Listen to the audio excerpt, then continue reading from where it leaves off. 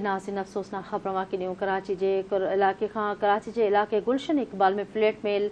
बाहि लॻण सड़ी ज़ख़्मी थियल ॿियो नौजवान बि फोत थी वियो आहे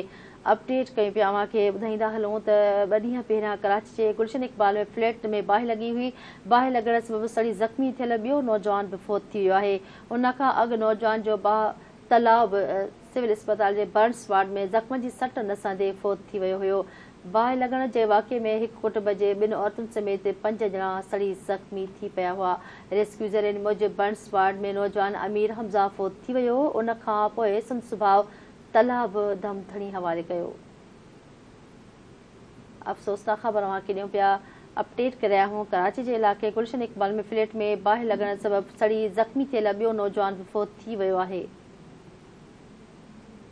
उन खां अॻु नौजवान जो भाउ तलाब सिविल इस्पताल जे बर्स वार्ड में ज़ख़्म जी सट न सां फौत थी वियो हुयो